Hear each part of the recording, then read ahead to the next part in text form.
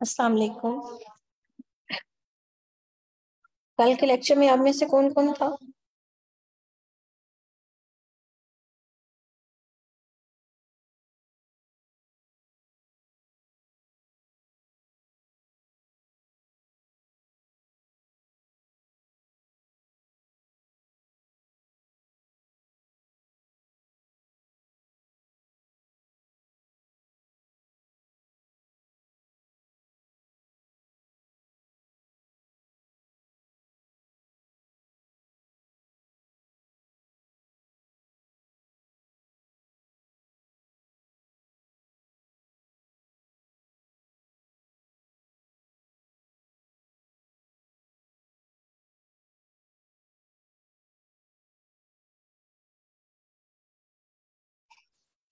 जी तो हम लोग अपने लेक्चर को स्टार्ट करते हैं। कल हम लोगों ने नंपाई से स्टार्ट किया था। आप लोगों को मेरी आवाज़ आ रही है? जी सुहेल आप शायद कुछ पूछना चाह रहे हैं? जी अस्सलाम वालेकुम। वालेकुम सलाम जी। मिस मैं सिर्फ़ ये पूछना चाह रहा हूँ कि मैंने आज ही आपका जो है ये क्लास ज्वाइन की है और मेरा ख्याल में इसको काफ़ी दिन शायद हो चुके हैं होंगे। जी। तो तो क्या मैं इसको कोप अप कर सकता हूँ? यानी कि मैं बिल्कुल बेसिक पे हूँ, यानी कि जिस तरह से अभी मैं आपकी वो सात बजे वाला एक सेशन ले रहा हूँ। तो क्या इसके साथ कर सकता हूँ या अभी मैं वेट करूँ फिर नेक्स्ट सेशन के लिए? जब आपका नेक्स्ट सेशन हो मशीन लर्निंग का तो मैं इसको ज्वाइन करूँ। आप क्या सजेस्ट करेंगे? थैंक यू सो मच आप जो है ये सेशन अभी से ज्वाइन कर सकते हैं। बेसिकली जो मशीन लर्निंग है it's not like this step by step journey ऐसे नहीं है। ये ऑनगोइंग प्रोसेस है और इसमें हम डिफरेंट चीज़ें सीख रहे होते हैं। फॉर एग्ज़ाम्पल जो पीछे रह गई हैं उसको भी आप फॉर नहीं भी करते हैं तो जो आगे हम लोग कर रहे हैं आप उसके साथ साथ करें और हम लोग बहुत बेसिक से स्टार्ट करते हैं अपना लेक्चर फिर उसको उसकी कम्प्लेक्सिटी हाई करते हैं। ठीक है। तो आप हमारे साथ जो है वो सीख जाएँगे। नेक्स्ट उसका वेट ना करें क्योंकि अगला सेशन भी हम लोगों ने ही स्टार्ट करना है। नहीं वो बात ठीक है मुझे उससे वो नहीं है मतलब वो कोई भी करवाए। लेकिन मुझे तो ये है ना कि मैं पता चले कि बहुत ज़्यादा बैठ भी रहा हूँ टाइम भी दे रहा हूँ और पता चले मुझे कुछ समझ भी नहीं आ रहा तो ये दरअसल प्रॉब्लम थी इसलिए मैंने सोचा कि मैं आपसे पहले पूछ लूँ। तो आप ऐसा करें दो तीन दिन लेक्चर अटेंड करके चेक कर लें। अगर आपको कुछ समझ आए तो आप ले लें वरना ना लें। ठीक है। थैंक यू सो मच बहुत शुक्रिया। जी मोहम्मद जुबैर मोहम्मद मिस्टर, कौन है? इनका नाम है जब जुबैर है ये क्या है? जी।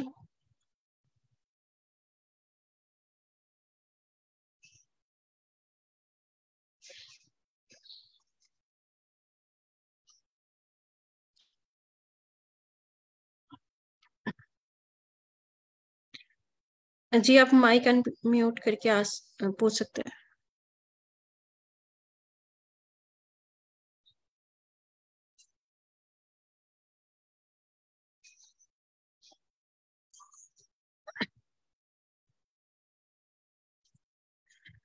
जिन लोगों की ये क्यूरीज आ रही हैं कि वो लोग बिल्कुल न्यू हैं तो आप लोगों के साथ जो है हम लोग प्रॉपर सारी चीज़ें शेयर कर देंगे और जो हमारे लेक्चर की कम्प्लेक्सिटी है वो इतनी हाई नहीं होती है इन स्टार्ट फिर हम uh, जो है उसको कम्प्लेक्स करते जाते हैं। फॉर द टाइम हम लोगों ने नंपाई स्टार्ट किया हुआ है और फ्रॉम वेरी बेसिक हम लोगों ने किया हुआ है जैसे क्रिएशन से स्टार्ट किया हुआ है। How we create data uh, using the numpy. तो फिर आप लोगों को इसकी क्लियर अंडरस्टैंडिंग हो जाएगी। इसके अलावा जो है ये सारे रिसोर्सेज आपके साथ शेयर कर दिए जाएँगे। उसकी हेल्प से भी जो है आप पिछले जो है लेक्चर यूट्यूब से या फिर फेसबुक पेज से जो है वो ले सकते हैं ये लेक्चर रिसोर्सेज शेयर कर देंगे। मैं सर को कहती हूँ वो करवाए मेरी तबीयत ठीक नहीं है तो मैं मुझसे बोलना मुश्किल हो रहा है। सर अगर आप अवेलेबल हैं तो फिर आप भी स्टार्ट करवा लें आज। अस्सलाम वालेकुम क्लास। वालेकुम अस्सलाम। कैसे हैं सब? अल्हम्दुलिल्लाह। अच्छा क्लास की टाइमिंग पहले थी फाइव पी एम तो हमने कल, मैंने अनाउंस भी किया था क्लास में कि जो मशीन लर्निंग की हमारी क्लास हुआ करेगी, वो सिक्स पी एम हुआ करेगी। उसकी रीज़न ये है कि मैं माँ के पास और मेरे पास जो है टाइम फाइव पी एम वाला सूट नहीं कर रहा था। तो हमने इसको फिर चेंज किया है five to six P M जो पहले हमारी क्लास थी, उसको six to seven P M में कन्वर्ट कर दिया है। तो आप, और कुछ जो न्यू स्टूडेंट हैं, उनके लिए ये है कि आपको अगर कुछ भी नहीं आता, ठीक है, आपको नंपाए का नहीं पता, आपको पांडास का नहीं पता, आपको मशीन लर्निंग का बिल्कुल ज़ीरो आइडिया है फिर भी आप क्लास लाजमी ज्वाइन करें। उसकी रीज़न उसकी रीज़न ये है कि अगर आप नंपाए और पांडास की बात करते हैं, वो आप दो से तीन लेक्चर्स में कवर कर सकते हैं। ठीक है? ज़्यादा से ज़्यादा आपका टाइम कितना वेस्ट होगा? ठीक है? ज़्यादा से ज़्यादा आपको एक दिन लग जाएगा। लेकिन अगर आप इनको स्किप कर देते हैं तो फिर आप कभी नहीं जो है इसको फिर समझ सकेंगे। ठीक है? तो इसलिए आपको जो है लाजमी अटेंड करनी चाहिए, जो भी न्यू स्टूडेंट है, या जिनके कुछ लेक्चर स्किप हो गए हैं। यूट्यूब चैनल पे भी वीडियोस अपलोडेड हैं। हमारे आई कोड गुरु के फेसबुक अकाउंट पे भी पड़ी है। आप जहाँ से जाएँ आपको हम सोर्स जो है प्रोवाइड कर देंगे। अगर आपको कोड चाहिए तो कोड का सोर्स भी आप गेटअप पे पड़े हैं। कोड तो आप जो है गेटअप से भी आप वो कोड जो है कॉपी पेस्ट करके आप यूज़ कर सकते हैं। सही यूट्यूब का सोर्स क्या है मतलब? सर वो आ, हम लोग ये इसमें शेयर कर देंगे। सर की आईडी भी है मेरी भी है वो शेयर कर देंगे। और सर आपकी बात में जो है मैं एक पॉइंट ऐड करना चाहूँगी कि जो न्यू स्टूडेंट होते हैं जो बिल्कुल फ्रॉम ज़ीरो स्क्रैच से करना चाह रहे होते हैं तो उनके लिए भी बहुत इंपॉर्टेंट है कि लेक्चर्स लेना। वो इसलिए कि जब आप जब स्टार्ट लेते हैं ना तो आप चाहे कोई हाई लेवल इंस्ट्रक्टर भी है या एक्स वाई जी कोई भी इंस्ट्रक्टर है आपको शुरू में बातें कुछ समझ में आती हैं।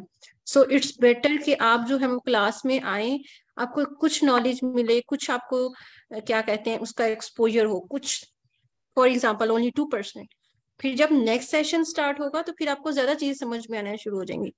मैं ये नहीं कह रही कि इसमें आपको समझ नहीं आएँगी। मैं पॉइंट जो मेक करना चाह रही हूँ, वो ये है कि आप स्टार्ट लें। डरे नहीं, आप न्यू कमर हैं, आपने पहले कुछ नहीं आता। लेट से आपको पाइथन भी नहीं आती लेट से आपको मशीन लर्निंग का बिल्कुल आइडिया नहीं है। फिर भी it's completely fine to come in the class और देखें चीज़ें चल कैसे रही हैं। और फिर आप जो है hope so one after one two lectures you will understand the whole theory of machine learning ये क्या ये डेटा साइंस से रिलेटेड भी हो, है कोर्स या मतलब ये सिंपली सिर्फ़ मशीन लर्निंग है और उसका स्कोप जो है बिल्कुल अलग है?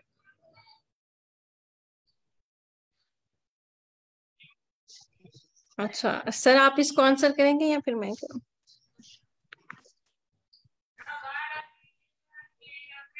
सवाल रिपीट कर दें।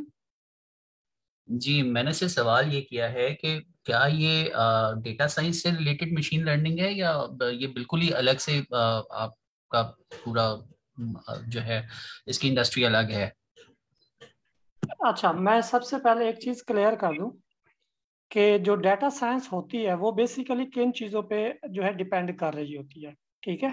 तो ज़रा सा आपको इसकी ना डिवाइडिंग है, जो बाउंड्री है, वो आपको सोचनी समझनी पड़ेगी। डेटा साइंस बेसिकली पहली है चीज़ मशीन लर्निंग ठीक है? मशीन लर्निंग में क्या चीज़ है? Machine learning basically statistic mathematics और प्रोबेबिलिटी बेस्ड जो है वो कंप्यूटर साइंस पे डिपेंड कर रही है, ठीक है? इनकी बैकएंड पे अगर आप देखें, यही स्टैटिस्टिक और मैथमेटिक्स यूज़ हो रही है।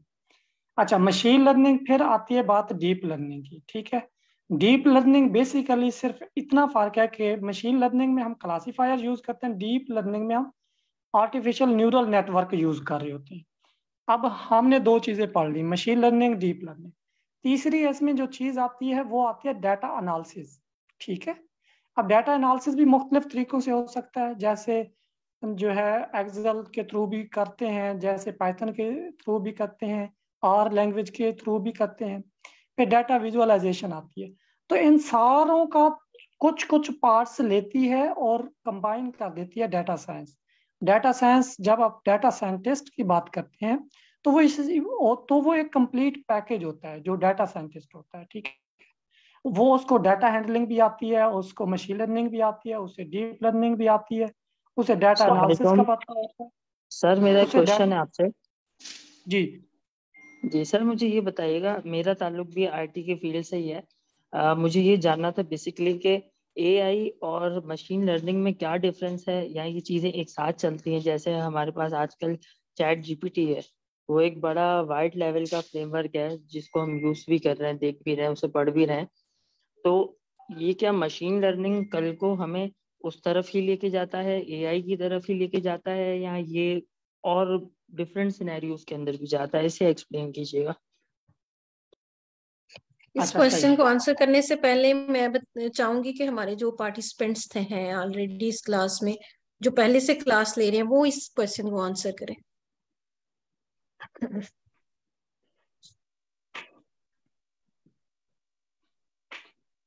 मैं मैं आंसर करूँ? जी जी। आर्टिफिशियल इंटेलिजेंस एक अम्ब्रेला है जिसके अंदर मशीन लर्निंग एक इसकी सब फ़ील्ड है। और मशीन लर्निंग की सब फील्ड्स भी डिफरेंट है जैसे डीप लर्निंग है और नेचुरल लैंग्वेज प्रोसेसिंग है। तो आर्टिफिशियल इंटेलिजेंस के अंदर दूसरे एल्गोरिदम्स हैं जैसे ए स्टार एक एल्गोरिदम है और uh, मतलब जो बेसिक होते थे पहले। इनिशियली ये आर्टिफिशियल इंटेलिजेंस से स्टार्ट हुई थी फ़ील्ड उसके बाद उसकी सब फ़ील्ड है मशीन लर्निंग यानी कि ऐसा कोड या ऐसे मैथमेटिकल मॉडल्स को ट्रेन किया जाए. मॉडल्स को ट्रेन किया जाए जो कि लर्निंग कर सकते हैं आगे. तो जी।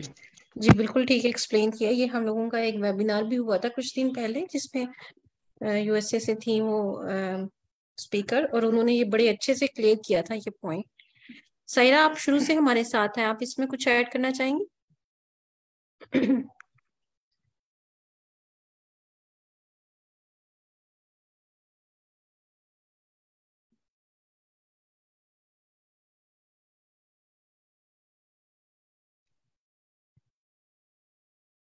सायरा आप क्लास में हैं?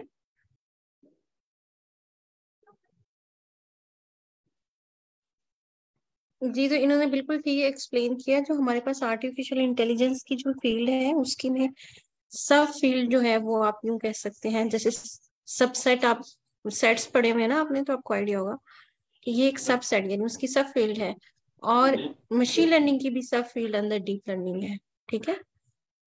जी। जी थैंक यू सो मच मैं बिल्कुल आई अंडरस्टैंड इट बिल्कुल सही है uh, लेकिन मेरा एक और क्वेश्चन इससे रिलेटेड साथ ही था कि जिस तरह चैट जीपीटी चल रहा है या और दूसरी एआई टेक्नोलॉजीज़ चल रही हैं या जिस तरह टेस्ला काम कर रहा है मुख्तलिफ़ फील्ड्स के अंदर तो हम कहाँ रिलेट करते हैं मशीन लर्निंग के अंदर जाके? ये हमारे इसमें कितने स्टेप्स हैं? आई एम सो सॉरी मेरी फ़र्स्ट क्लास है। मैंने पहली दफ़ा ज्वाइन किया मुझे बिल्कुल आइडिया नहीं है क्या सिनेरियो चल रहा है। Uh, लेकिन ये मेरे कुछ क्वेश्चंस हैं साथ में। जी, बिल्कुल ठीक आपने जो है वो क्वेश्चन किया। तो बात यह है कि जब ये जो हम मशीन लर्निंग पढ़ रहे हैं, इसमें हम लोग मॉडल बिल्ड करना सीख रहे थे। शुरू में जब हमने इनिशियल मॉडल बिल्ड करना नहीं इनफैक्ट जब हम लोगों ने बिल्कुल स्टार्ट किया था तो basic concept of about machine learning ये क्लियर करने के बाद हम लोगों ने डिफरेंट मॉडल्स देखे थे। फॉर एग्ज़ाम्पल लीनियर रिग्रेशन और हमने देखा था कि वो मॉडल जो है वो कैसे वर्क करता है। और फिर हम लोग इसके साथ साथ ऑन पैरेलल हम लोग जो है ये जैसे नम पाए और पांडास भी कर रहे हैं तो अल्टीमेट टारगेट हमारा यही है कि अगर हम लोग कोई मॉडल खुद से बिल्ड करना हो तो हम कर सके रादर देन कि कोई बिल्ट इन मॉडल हम यूज़ करें। बट इसके साथ साथ हम लोग जो है बिल्ट इन मॉडल्स और different machine learning libraries use करके भी जो है वो मॉडल सिस्टम्स बिल्ड करते हैं। ठीक है इस, एक आई गेस हम लोगों ने क्लास में प्रैक्टिस भी किया हुआ है। और बाकी जो है, हम यही सीख रहे हैं कि इनिशियली बिल्कुल स्क्रैच से हम कैसे मॉडल बिल्ड करेंगे। अगर स्पेसिफिकली बात करें, जैसे चैट जीपीटी का जो मॉडल है ओपन एआई वो लाइब्रेरी हमारे पास एपीआई इनफैक्ट हम अवेलेबल है और उसको हम अपने प्रोजेक्ट में लोड करके यूज़ कर सकते हैं। वो हम लोगों ने अभी तक तो प्रैक्टिस नहीं की लेकिन इन फ्यूचर हम कर सकते हैं क्योंकि वो बहुत सिंपल है। जैसे मेरा एक रिसेंट एक्सपीरियंस था तो उसमें कुछ भी कोई इतना वो नहीं था कि सीखने वाला क्योंकि हम लोग सिर्फ़ उसको उसका इंटरफेस लोड कर रहे हैं। बैकएंड वो कैसे काम करे वो ओपन एआई ही करेगा। तो इस क्लास के पॉइंट ऑफ़ व्यू से अगर आप पूछ रहे हैं तो इसमें हम लोग ये ये कर रहे हैं कि हम लोग अपनी core strength related to machine learning उसको स्ट्रेंथन करने की कोशिश कर रहे हैं। और with help of for example with help of data analysis API rather than to uh, quickly jump into the machine learning libraries हम लोग डेटा एनालिसिस की लाइब्रेरीज को देख रहे हैं ताकि फ्यूचर में हमें जिस तरह की भी सिचुएशन से डील करना पड़े हमारी स्कोर स्ट्रेंथ इतनी ज़्यादा हो कि हम लोग जो है उसको टैकल कर सकें। I hope this is the answer of your question perfect thank you so much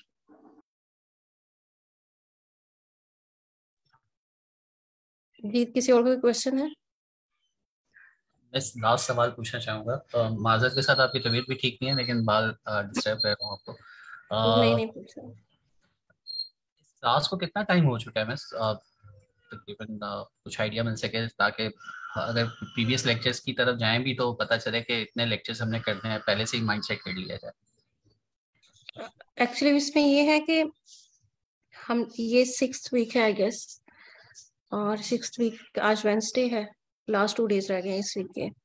लेकिन उसमें भी वो कि इतना ज़्यादा सिलेबस नहीं है मैं उसको आपके साथ लाइब्रेरी शेयर कर दूँगी वो सॉरी रेपोजिटरी शेयर कर दूँगी और इनफैक्ट सर ने भी की होगी तो वो आपको काफ़ी हेल्पफुल रहेगा।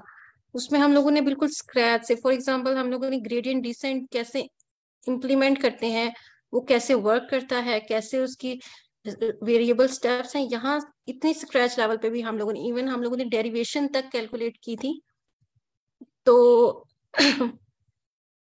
वो आप लोग को मिल जाएगा वो इतना ज़्यादा नहीं है। हम लोग अक्सर रिवाइज भी कर देते होते हैं। वीकेंड पे आ, आ, नहीं वीकेंड पे नहीं in fact last working day पे फ्राइडे हम लोग जो है वो अक्सर रिवाइज भी करते हैं चीज़ें तो वो उसमें भी क्लियर हो जाएगा आपका। Thank you miss thank you चलें फिर हम लोग नम से स्टार्ट करते हैं। ठीक है सर आप कंटिन्यू करें मैं आपके साथ साथ हूँ।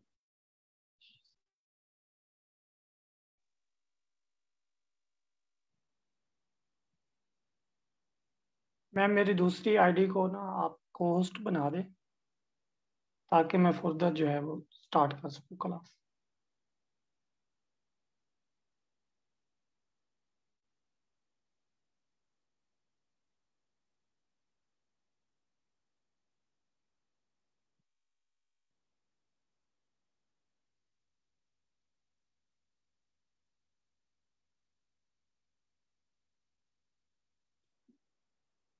आज का जो हमारा टॉपिक है, वो हमने प्रीवियस जो लेक्चर में देखा था नंपाई एरे बेसिक से देखा था कि नंपाई एरे को हम किस तरीके से क्रिएट करते हैं। ठीक है? और फर्दर उसको किस तरीके से हम जो है उसमें कौन कौन से फ़ंक्शन हम इम्प्लीमेंट कर सकते हैं। तो प्रीवियस क्लास में हमने सबसे पहले उसको मैं रिकैप कर देता हूँ कि सबसे पहले हमने जब हम नंपाई यूज़ करते हैं तो नंपाई के लिए सबसे पहले हमें उस लाइब्रेरी को इंपोर्ट करना पड़ता है। इंपोर्ट कैसे करेंगे? अगर इसी तरीके से हम कोई और लाइब्रेरी इंपोर्ट करते हैं इंपोर्ट जैसे पैंडा करें तो पैंडास एज पीडी ठीक है? ये लाइब्रेरी को इंपोर्ट करने का एक सिंपल वे है, ठीक है? अब सवाल ये पैदा होता है कि हम लाइब्रेरी को इंपोर्ट क्यों करते हैं? लाइब्रेरी को हम इसलिए इंपोर्ट करते हैं ताकि हम उसको फर्दर जो है यूज़ कर सकें। ठीक है? नंपाई जो है हमारी मशीन लर्निंग की, जो है मशीन लर्निंग की बैकबोन है। अगर जिसको नंपाई नहीं आती, उसको मशीन लर्निंग नहीं आ सकती। सिर्फ़ आप कॉल करके फ़ंक्शन तो यूज़ कर लेंगे। रिज़ल्ट भी ले लेंगे, लेकिन आपको अंडरस्टैंडिंग नहीं होगी कि बेसिकली मशीन लर्निंग वर्क किस तरीके से कर रही है। तो उसके लिए हमने कल देखा था कि नंपाई को इंपोर्ट किया था और हमने जो है नंपाई के मुख्तलिफ़ किस्म की जो है हमने एरे बनाए थे। जैसे यहाँ पे नेम के एरे बनाया, ठीक है, अगर आप देखें, हम ये एरे कैसे बनाते थे? सबसे पहले मैं यहाँ पे एक न्यू सेल लेता हूँ और यहाँ पे मैं एरे नेम लिख लेता हूँ। सपोज़ नंबर ठीक है नम और एन पी डॉट एरे ये एरे का मेथड है एरे बनाने के लिए। इसके इसके अंदर जो है हम पैरेंथेसिस इसमें ऐड करते हैं पैरेंथेसिस के अंदर हम जो है वो ब्रैकेट ऐड करेंगे। अब इसके स्केयर ब्रैकेट के अंदर आप कोई भी वैल्यू ऐड करते हैं तो वो नंपाई एरे में कंक्लूड होती जाएगी। ठीक है? सपोज़ ये हमने एक जो है नंपाई एरे क्रिएट कर लिया। ठीक है? अब इस नंपाई एरे को मैं नम करके प्रिंट करवाता हूँ तो हमें ये कुछ रिटर्न करेगा। अब ये नंपाई है ठीक है? आपने इसे इनिशियलाइज कैसे करना है? सबसे पहले आपने नंपाई को इंपोर्ट करवाना है। उसके इंपोर्ट करवाने के बाद आपने एनपी डॉट एरे एरे में आप जो है एक लिस्ट पास कर रहे हैं। आप इसमें लिस्ट पास कर सकते हैं, आप टपल पास कर सकते हैं, आप वैल्यू पास कर सकते हैं। और इस तरीके से जो है आप एक एरे क्रिएट कर सकते हैं। ठीक है? और नीचे जो है मैंने एक और एरे क्रिएट की हुई थी, जो नेम जिसकी जो, जिसमें वैल्यूज़ हैं, वो स्ट्रिंग है। बेसिकली नेम उसका नाम है। फिर हमने डिजिट वगैरह की कराई तो ये एक सिंपल कंसेप्ट है कि आप एरे क्रिएट किस तरीके से करेंगे। ठीक है? उसके बाद नेक्स्ट हमने सर ये नेक्स्ट एक क्वेश्चन है ये जो डी टाइप यू सेवन ये इसका क्या मतलब है? ये ये बेसिकली एरे की एक डाटा टाइप है यू सेवन ये नंपाई एरे में मोस्टली जो है वो यूज़ होती है। इसका डीप मैंने भी इसको नहीं एनालिसिस किया, इसका कि ये कौन सी होती है। लेकिन ये एक डाटा टाइप है और आई गेस कि इसको हम जो है वो चेक करेंगे, ये कौन सी डाटा टाइप हो सकती है। इस तरीके से नंपाई एरे में हम जो है अपनी मर्ज़ी से भी डाटा टाइप क्रिएट कर सकते हैं डाटा टाइप उसकी चेंज करेंगे। नेक्स्ट ये भी हम इनशाला कल के लेक्चर में या जैसे भी फर्दर लेक्चर में आएँगे हम देखेंगे कि हम अगर इंट एट की जो है किस तरीके से एरे क्रिएट कर सकते हैं इंट थर्टी टू की किस तरह कर सकते हैं सिक्सटी फोर की किस तरीके से हम जो है वो एक एरे क्रिएट कर सकते हैं। तो ये एक एरे क्रिएशन है सिंपल हम इसको इजी ही लेंगे कि एरे हम किस तरीके से क्रिएट कर सकते हैं। उसके बाद हम जो है एरे को अगर हम टाइप मेथड के थ्रू देखें। सर इसमें मैं मैंने अभी सर्च किया मैं इसलिए ऐड करना चाहूँगी। क्योंकि मेरा भी ये भी आइडिया नहीं था मैंने इसीलिए पूछा। ये भी मैंने सर्च किया तो मैं आप मैं आपको बताती हूँ। जी जी। इसमें ये जो है जैसे मैंने सेम काम किया तो मेरी मेरा जो डी टाइप आ रही थी वो यू सिक्स आ रही थी। ये साइन जो भी साथ है। यू सिक्स का मतलब है यूनिको यू का मतलब है यूनिकोड स्ट्रिंग ठीक है? ये डेटा टाइप बेसिकली स्ट्रिंग को रिप्रेजेंट करी होती है। और जो ये जो सिक्स सेवन या ये डिजिट हर एक का वेरी करेगा उसका मतलब है कि जो मैक्सिमम लेंथ है स्ट्रिंग की वो सिक्स करेक्टर्स लॉन्ग है। यानी आपका ये जो आपने डिक्लेयर किया हुआ है वसीम और ये जो रमज़ान है इसमें और अली ये कितने कितने हैं? एस ये सिक्स सिक्स है।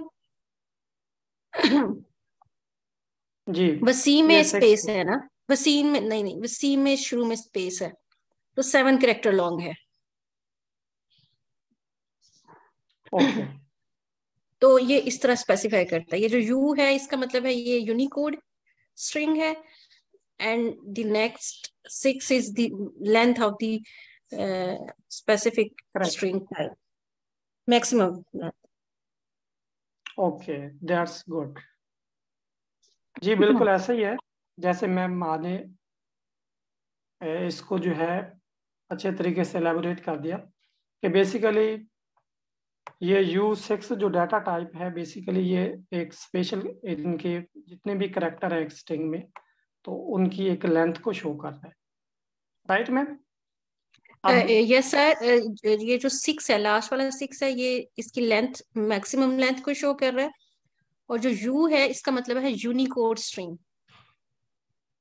यानी ये डेटा टाइप स्ट्रिंग को वो यूनिकोड यानी कैपिटल यू से रिप्रेजेंट कर रहा है। एग्जैक्टली अच्छा जब हम एरे यहाँ पे सिंपल हम एरे क्रिएट करते हैं ठीक है?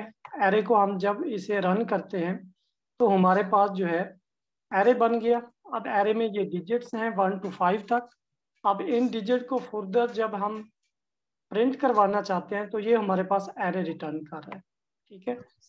अब हम इस एरे की जो हमने एरे बनाया, इसकी अगर डाटा टाइप चेक करना चाहें, कि ये किस टाइप का है? इसकी अगर हम तो हम टाइप के मेथड के में हम एरे पास कर देते हैं, ठीक है?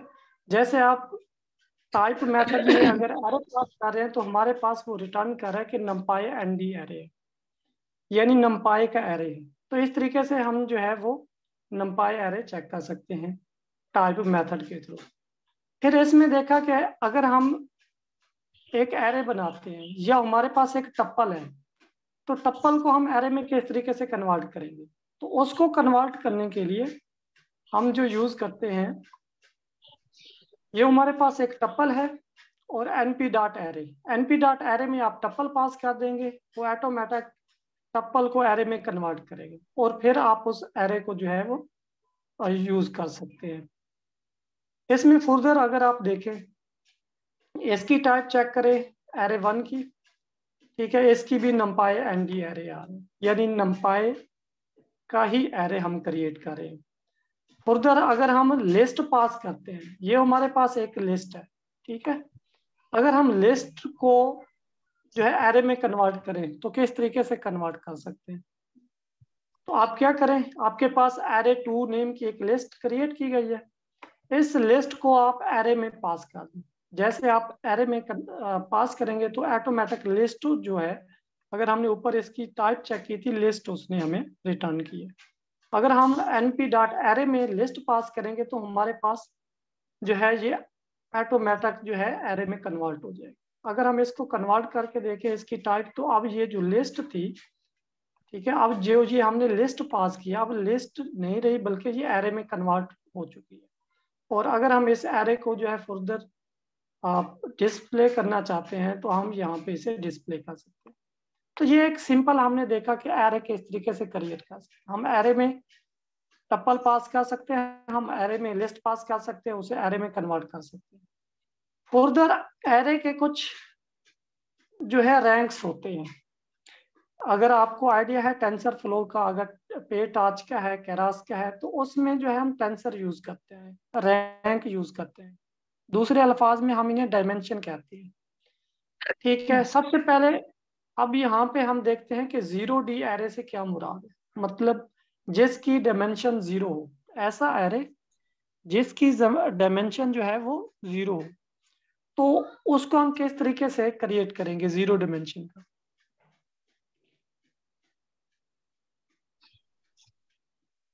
अच्छा ठीक है।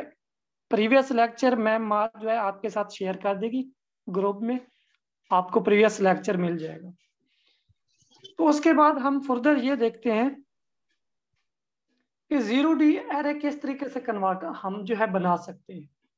अगर आप देखें कि अगर आपके एरे में सिर्फ़ एक वैल्यू है, जिसको हम स्केलर वैल्यू का नाम दे रहे हैं, ठीक है?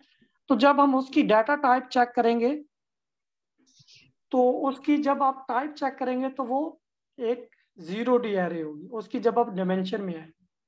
तो यहाँ पे देखें हमने क्या किया? एक जो है यहाँ पे मैं ज़ीरो डी एरे जो है यहाँ पे बनाना चाह रहा हूँ। तो सबसे पहले आपने इंपोर्ट नंपाई कर लेना है। नंपाई एज एन और इसमें आपने एरे बनाना है जिसकी डायमेंशन ज़ीरो हो। ठीक है? उसके लिए आप ए आर में एक एरे का नेम डिफाइन करता हूँ और इधर मैं लिखता हूँ एन पी डॉट एरे और इसमें जो है हम एक सिंगल वैल्यू पास कर देते हैं सपोज़ टेन ठीक है? अब मैं इस एरे को कन्वर्ट प्रिंट करता हूँ तो ये मेरे पास एरे आ गया टेन अब मैं इसकी डायमेंशन चेक करना चाह रहा हूँ तो मैं डायमेंशन कैसे चेक करूँगा? सबसे पहले मैं इसकी टाइप चेक करता हूँ। टाइप में मैं ए आर देता हूँ और ये मुझे बताएगा कि नंपाई का एरे है। फर्दर इसमें मैं क्या करता हूँ? इसकी डायमेंशन चेक करने के लिए कि A R dot ndim ndim क्या करता है? एन डिम बताता है कि कितनी डिमेंशन का जो आपने एरे बनाया है। उसकी डिमेंशन वन है ज़ीरो है टू डी है थ्री डी है। यानी बेसिकली हमारे पास जो भी डाटा है, उसकी अगर हम डायमेंशन चेक करें तो आप आप ए आर जैसे हमारे पास एक एरे था सिंपल ए आर नेम था उसका A R dot and dim इसके थ्रू हम एरे की डायमेंशन चेक कर सकते हैं। यहाँ तक अगर किसी का कोई सवाल है तो पूछ सकता है।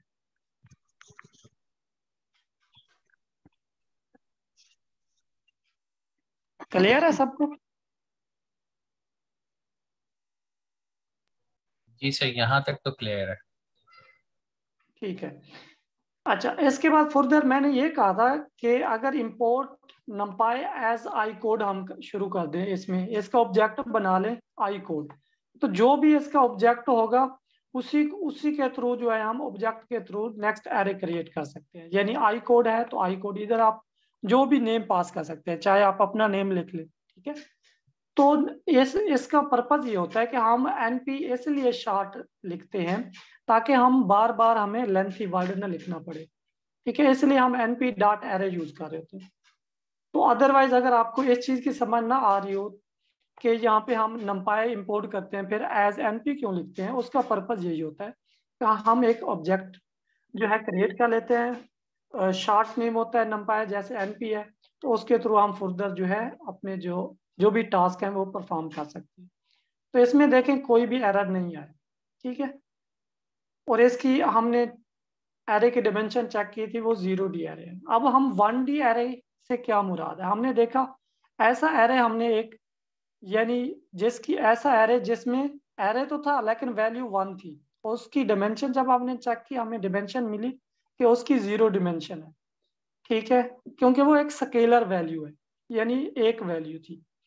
अब हम देखेंगे कि वन डी से क्या मुराद है। ठीक है? इसमें अगर आप देखें an array that has zero D array as its element is called uni dimensional और वन डी एरे ठीक है? अब ज़ीरो डी एरे जिसमें फुर्दर उसके एलिमेंट्स हों, उसको हम one D element one D array कहते हैं। जैसे जिसकी एग्जांपल जो है नीचे आप इस लाइन में देख सकते हैं। ठीक है, मैं थोड़ा सा जूम आउट कर दिया। इसमें आप देखें कि अगर हम ये एक जो है एरे बना रहे हैं, अब इस एरे की अगर हम जो है वो डिमेंशन चेक करें तो हमें इससे आइडिया होगा कि इसकी जो लेंथ है इसकी जो डिमेंशन है, वो वन है। अब हमें कैसे आइडिया होगा कि एरे की जो डिमेंशन है, वो वन है? बेसिकली इसकी जो स्टार्टिंग ब्रैकेट है स्केयर ब्रैकेट और क्लोजिंग स्केयर ब्रैकेट इससे हमें आइडिया होता है, अगर एक स्केयर ब्रैकेट है तो इसका मतलब है वन डी एरे है अगर दो स्केयर ब्रैकेट लगाई गई हैं तो इसका मतलब है टू डी एरे है ठीक है? इस तरह थ्री डी एरे इस तरह पे सेम ये मल्टी मल्टी डिमेंशनल एरे हो सकता है. Three D four D array हो सकता है. ठीक है? इस वन डी आर में अगर किसी का कोई सवाल आए तो।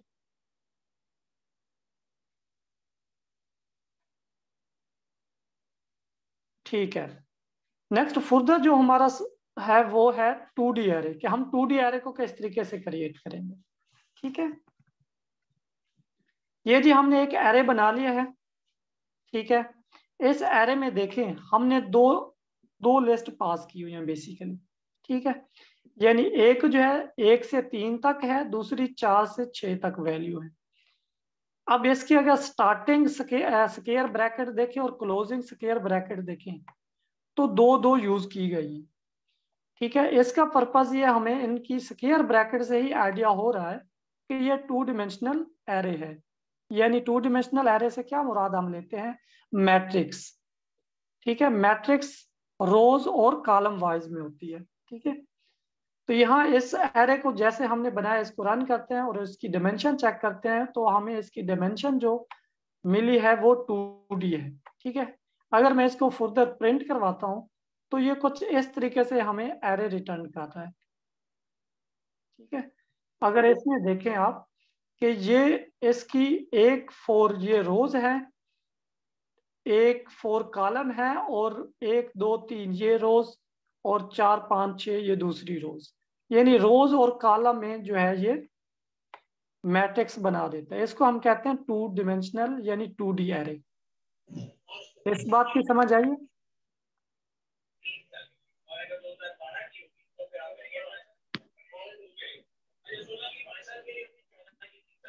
अच्छा उसके बाद हमारे पास नेक्स्ट टॉपिक है, वो है थ्री डी एरे कैसे बनाएँगे हम?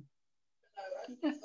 अगर हमारे पास थ्री डी एरे आता है तो वो हम कैसे उसे जो है बनाएँगे और कैसे उसे हम यूज़ करेंगे।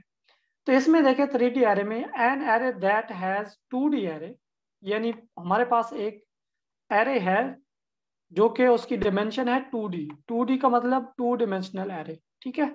जब टू डी एरे की बात करते हैं तो वो बेसिकली मैट्रिक्स कहलाता है, ठीक है? मैट्रिक्स जो होती है वो रोज और कॉलम वाइज होती है। और इसके जो एलिमेंट्स होंगे, वो थ्री डी एरे कहलाएँगे। कैसे हम नीचे जो है वो देखते हैं। नंपाई एरे हमने क्रिएट कर लिया। और इसमें आप देखें कि हमने तीन जो है स्केयर ब्रैकेट यूज़ किए हैं। ठीक है? और हर जो ब्रैकेट के बाद जो है वो हम कोमा सेपरेटेड कर रहे हैं। यानी एक जो है ये टू डी एरे यहाँ से यहाँ तक टू डी एरे बन गया। फिर यहाँ से जो है इसका पार्ट टू यहाँ से यहाँ तक बन गया।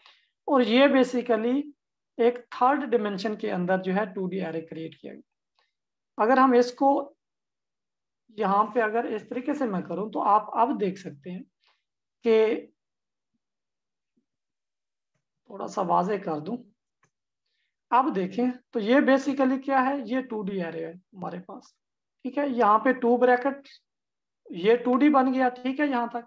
फिर हमने दूसरा एरे बना लिया, वो भी टू डी है।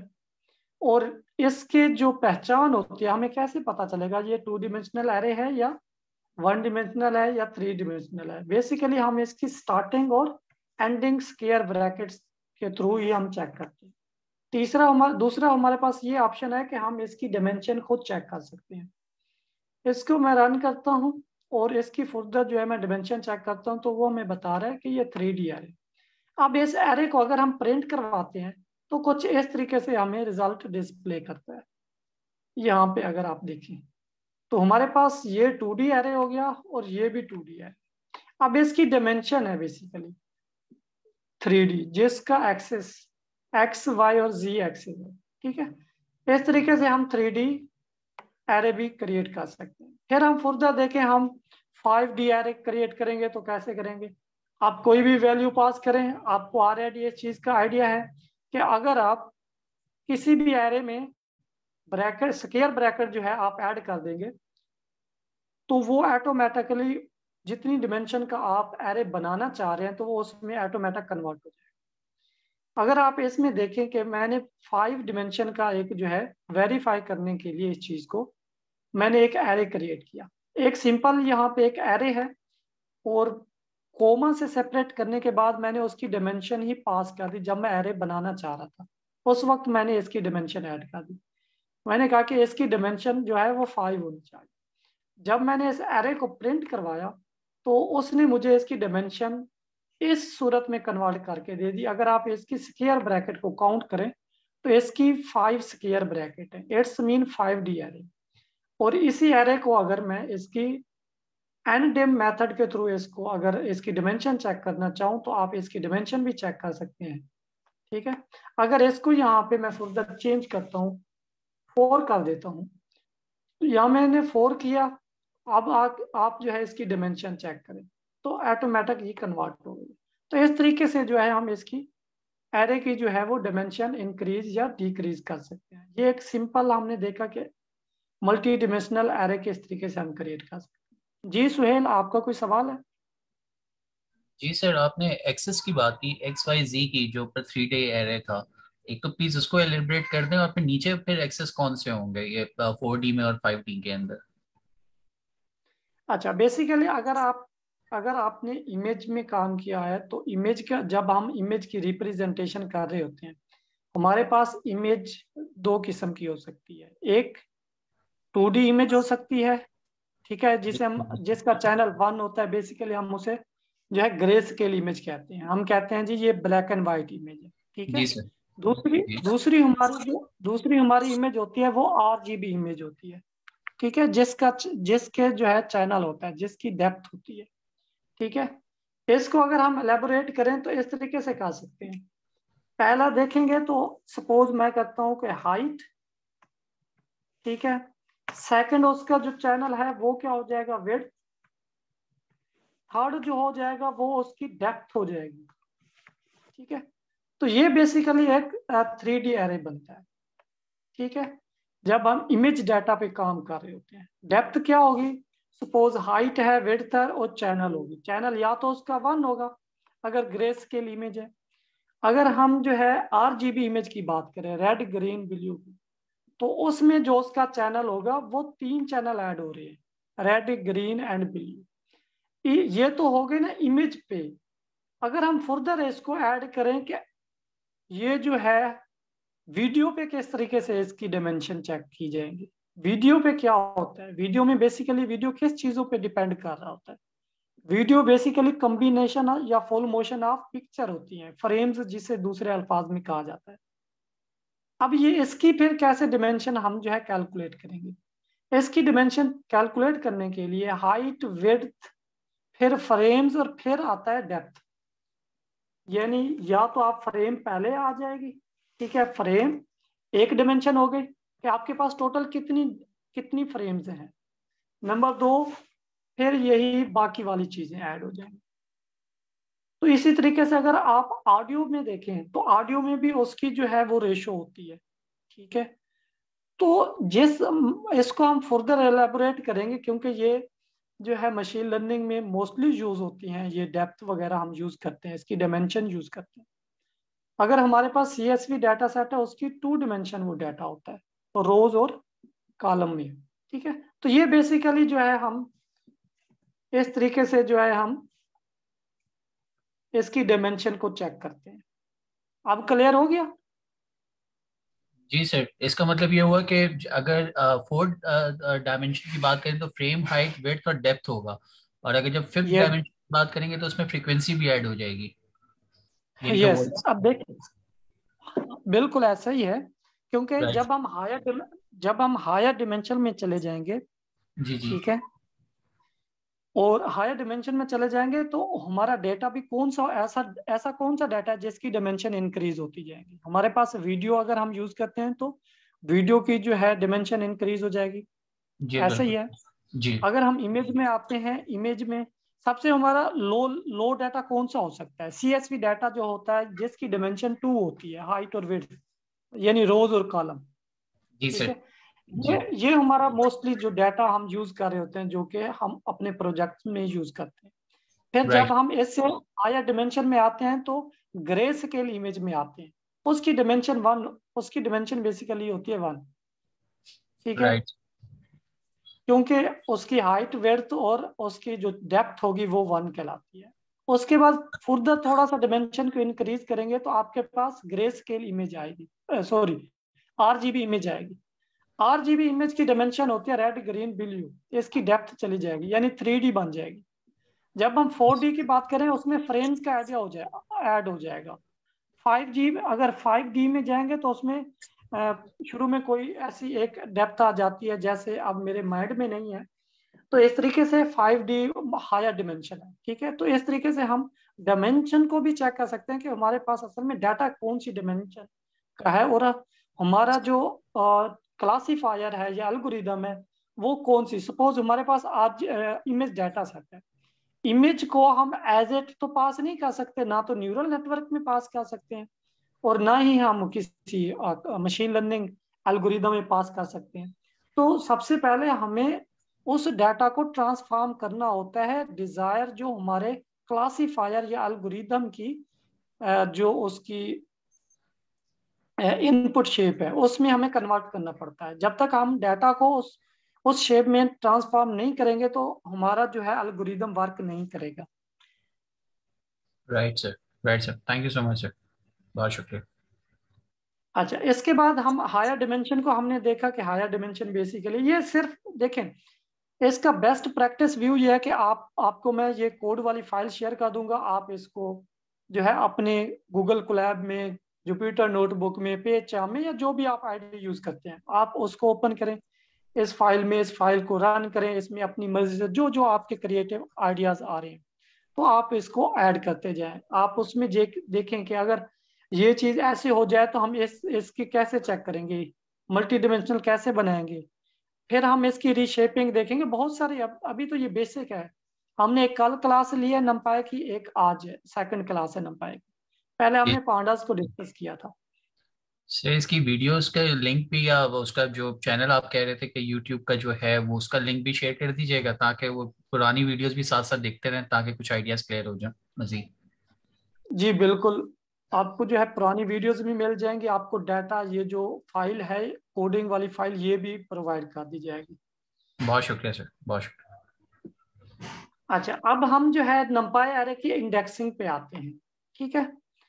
कि एरे की इंडेक्सिंग किस तरीके से हम एरे को एरे की हमने देखा कि लिस्ट की इंडेक्सिंग को गेट करते हैं। लिस्ट के ऊपर फुर्दर हमने जो है कुछ टास्क परफॉर्म किए थे, कुछ मेथड परफॉर्म किए थे। तो अब हम कुछ जो है टास्क जो है वो नंपाई एरे में ऐड करना चाह रहे हैं। वो कैसे करेंगे? तो उसके लिए जो है, जब हम इंडेक्सिंग की बात करते हैं तो इंडेक्सिंग स्टार्ट होती है ज़ीरो से, ठीक है? सपोज़ ये मैंने एक एरे इंपोर्ट किया और एरे बना लिया, ठीक है? अब मैं एरे के अंदर पास कर रहा हूँ टू यहाँ पे अगर देखें।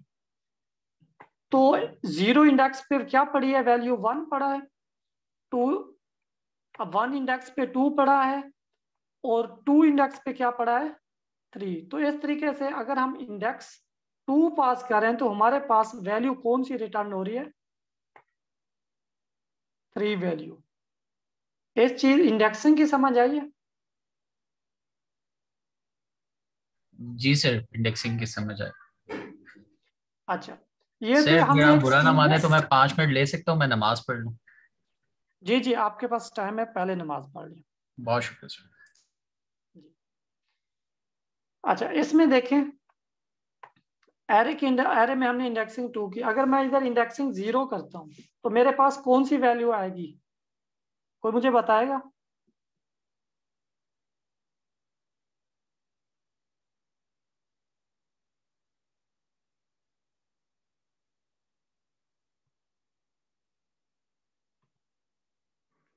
जी। अगर मैं इस एरे में इंडेक्स ज़ीरो पास कर रहा हूँ तो मुझे कौन सी वैल्यू जो है वो मिलेगी?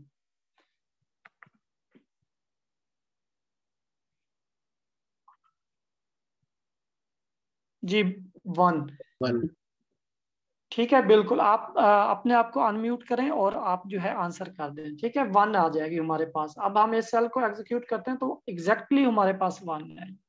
तो इसका मतलब है कि हम इस तरीके से एक सिंगल वैल्यू जो है इंडेक्स पास करके गेट कर सकते अगर हमें जो है more than one value get करनी होगी तो हम किस तरीके से गेट करेंगे? ठीक है हम क्या करते हैं कि प्रिंट के थ्रू जो है हम उसमें एरे इंडेक्स पास कर रहे हैं ज़ीरो फिर कोमा फिर हमने इंडेक्सिंग पास कर दी थ्री अब हमें एरे में से कौन सी वैल्यू गेट हो रही है? तो बेसिकली यहाँ पे जो है मैं एरे को प्रिंट करवाता हूँ ताकि हमें पता चले। अब ज़ीरो इंडेक्स पे पड़ा है वन तो उसने पहले ज़ीरो इंडेक्स वाले वैल्यू को प्रिंट करवा दिया, ठीक है?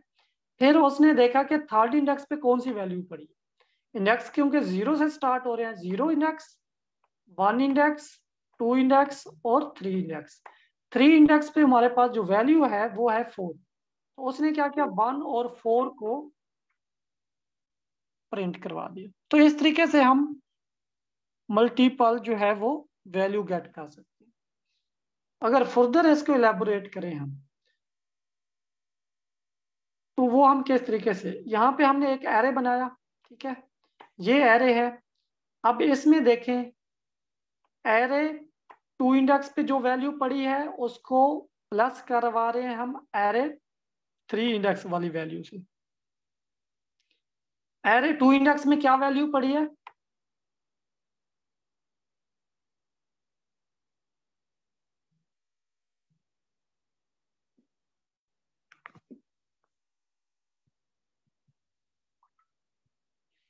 Three exactly exactly. और एरे जो है थ्री इंडेक्स में कौन सी वैल्यू पड़ी है? फोर फोर एग्जैक्टली इसका मतलब है थ्री प्लस फोर करेंगे तो हमारे पास डिज़ायर आउटपुट क्या आएगी? सेवन ठीक है? तो ये जो है हम जब प्रिंट करवा रहे हैं उस वक्त हम एरे की इंडेक्सिंग पास करके हम जो है उसको प्रिंट करवा रहे हैं। अगर हम इसको इस तरीके से इसका जो है सम कैलकुलेट करें तो इस तरीके से कर सकते हैं। ये तो एक सिंपल वन डी एरे था। ये हमारे पास वन डी एरे था ना, अगर आप इधर देखें। वन डी एरे में हमने वैल्यू एक्सेस किया अगर हमारे पास टू डी एरे है टू डी एरे में से हम कैसे वैल्यू गेट करेंगे?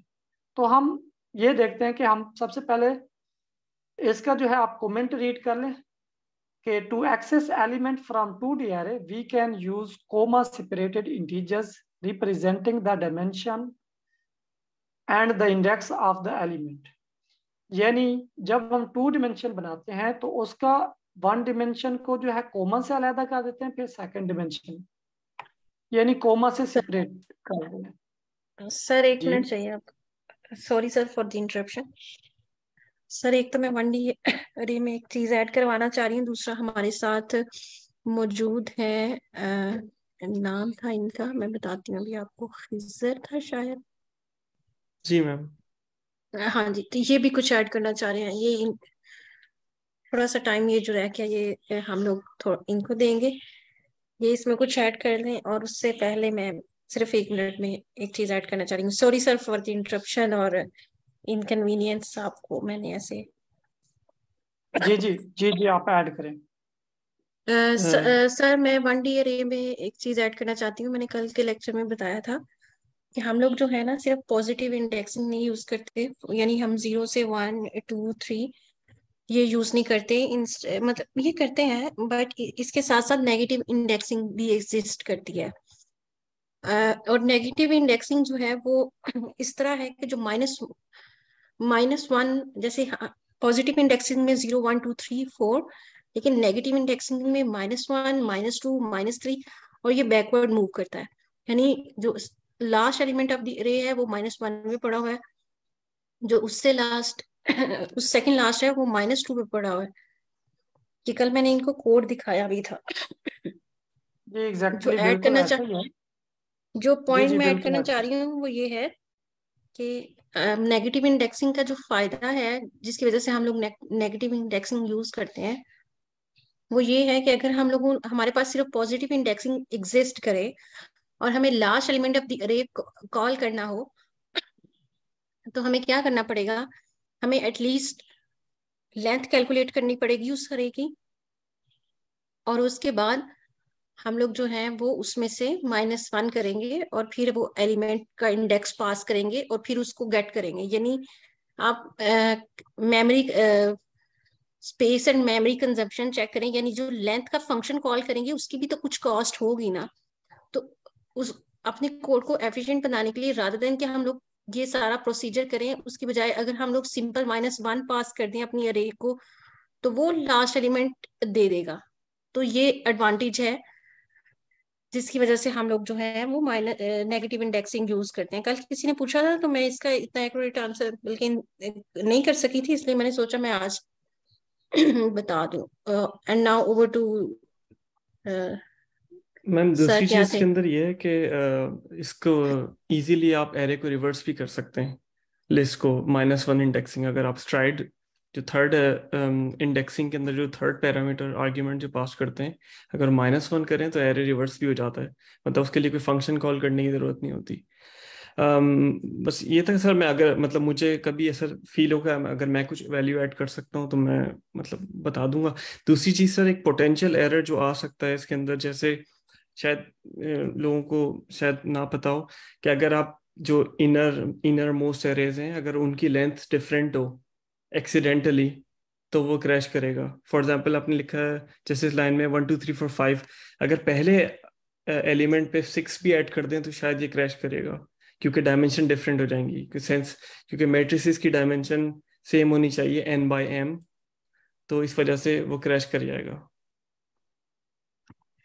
जी, बिल्कुल आपने ठीक ऐड किया है, ये मैं जो है हम लोग बताना भूल गए थे। हम लोगों को इसकी जो है वो लेंथ सेम करनी पड़ेगी। ये सर चाहे आप ये एक्सपेरिमेंट, अभी ये रन करके दिखा भी दें। और, जी जी, ठीक। आप कंटिन्यू करें। अच्छा बिल्कुल मैम माँ और खिजर, आपने बहुत अच्छा एक्सप्लेन किया इसको। ऐसे ही है क्योंकि जब हम नेगेटिव इंडेक्सिंग की बात करते हैं तो नेगेटिव इंडेक्सिंग के जहाँ पे फ़ायदे हैं, वहाँ पे लॉस भी है, ठीक है? क्योंकि जब भी हम डाटा रिट्राइव करते हैं किसी भी एरे से या किसी भी लिस्ट से तो उसमें वो हमेशा लेफ़्ट टू राइट रिट्राइव करते हैं, ठीक है? अगर मैं नेगेटिव इंडेक्सिंग की बात करूँ तो नेगेटिव इंडेक्सिंग माइनस वन से स्टार्ट होती है और सो ऑन चलती है। लेकिन अगर हम उसमें स्लाइसिंग करें तो हमें बहुत सारे एरर आते हैं। उसकी रीजन ये है, जब हम स्लाइसिंग ऑपरेशन परफॉर्म करते हैं एरे पे तो स्लाइसिंग बेसिकली स्लाइसिंग हम क्यों यूज़ करते हैं? स्लाइसिंग एक है फैंसी स्लाइसिंग वो हम इसलिए यूज़ करते हैं कि जहाँ हमें more than one value get करनी तो वहाँ पे हम स्लाइसिंग यूज़ करते हैं। तो स्लाइसिंग हम मोस्टली जो है वो पॉजिटिव इंडेक्सिंग में ही यूज़ करते हैं। जब हम नेगेटिव इंडेक्सिंग की बात करते हैं वो मोस्टली जब हम डाटा में से लास्ट वाला मोस्टली जब हमारे पास डाटा सेट होता है और डाटा सेट में हमारे पास लास्ट कॉलम जो होता है वो टारगेट फीचर होता है। जैसे हम ये कहें, दूसरे अल्फाज में डिपेंडेंट एंड इनडिपेंडेंट हमारे पास जो फीचर्स होते हैं, उनको किसी और वेरिएबल में हम जब असाइन करते हैं तो उस वक्त हमें नेगेटिव इंडेक्सिंग की ज़रूरत पड़ती है। उसकी रीजन ये है जो हमारा लास्ट कॉलम होता है वो हमारा इसका मतलब है माइनस वन इंडेक्स के इंडेक्स पे पड़ा हुआ है। अगर हम इसको फर्दर एलेबोरेट करें तो हम जो है कुछ लेक्चर जो हमारे पाइथन वाले में हो रहे हैं Python course I think seven P में है। तो उसमें अगर आप देखें कि उसमें भी यही पॉजिटिव और नेगेटिव इंडेक्सिंग दोनों यूज़ हो रही है, ठीक है? पॉजिटिव इंडेक्सिंग हमेशा ज़ीरो से स्टार्ट होती है और नेगेटिव इंडेक्सिंग जो है वो माइनस वन से स्टार्ट होती है। क्लियर हो गया? इनशाला जो है नेक्स्ट इसको भी देखेंगे हम, आगे जो है इसकी इंडेक्सिंग है, वो भी हम करेंगे नेगेटिव इंडेक्सिंग भी दी हुई है पॉजिटिव भी है। तो यहाँ देखिए एक्सेस टू डी एरे हमने देखा वन डी एरे में से हम एक्सेस किस तरीके से कर सकते हैं वैल्यू अब हम ये देखेंगे टू डी एरे में से हम किस तरीके से वैल्यू गेट कर सकते हैं। सबसे पहले हमने टू डिमेंशनल एरे जो है क्रिएट कर लिया ठीक है? बेसिकली एरे क्या है? टू डी एरे क्या है? बेसिकली टू डी एरे जो है,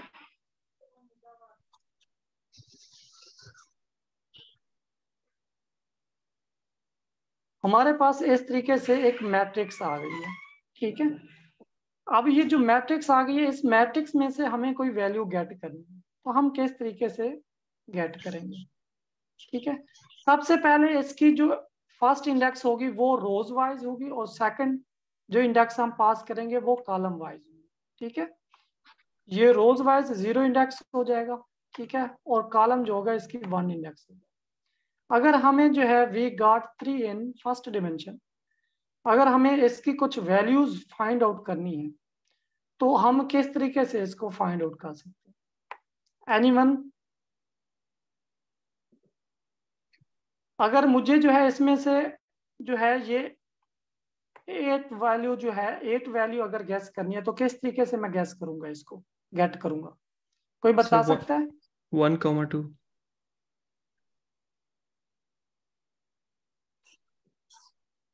जी कोई और?